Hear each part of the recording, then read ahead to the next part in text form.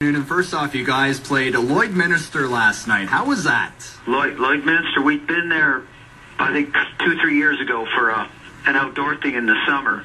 But last night was kind of a strange show. It started out a little weird, but it got really good at the end because it was a kind of like a fundraiser, very uh, dressed up kind of affair, lots of suits and stuff. But after they got loosened up, everybody had a great time. You guys tour a lot of small towns in Canada. Would it be fair to say you're a small town touring band? I would. Well, thing with Canada, it's a huge country, but there aren't that many large urban centers, so you can only play them so many times. But there's a lot of smaller towns that really is is our bread and butter because these are the people that keep us going and keep us on the map.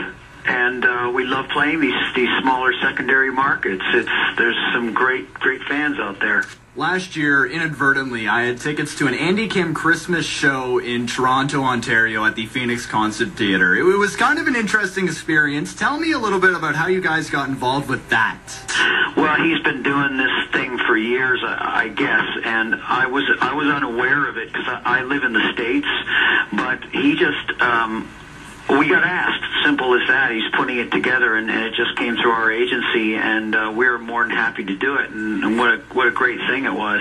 Now, I gotta ask, are you an NHL fan? I I am yeah. I got both my kids play hockey. I'm I'm down at the rink like three four times a week with them. Now, the big word right now is lockout.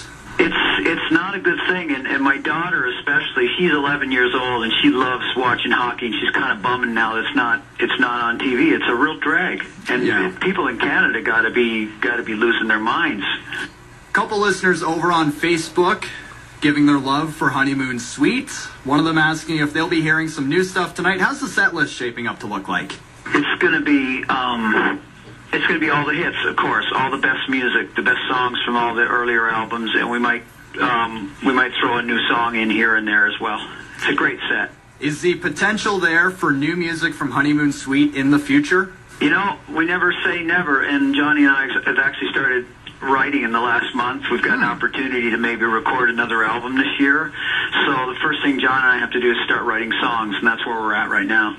We play a lot of the new rock here at the Rig. Are you into the newer rock? What do you think? What, what are some bands you're interested in? What's good? There's you know there's a lot of really good music out out right now. There's there's some great new bands. There's a band called Monsters and of Monsters and Men. I think they're Yep. from Iceland. That's, that's Yep. a great band. My son loves Coldplay. I I love them, and I love the last Van Halen record. Yep. And uh, I'm sort of you know I like a lot of the new country stuff as well. Has the internet changed the way you guys operate as a band?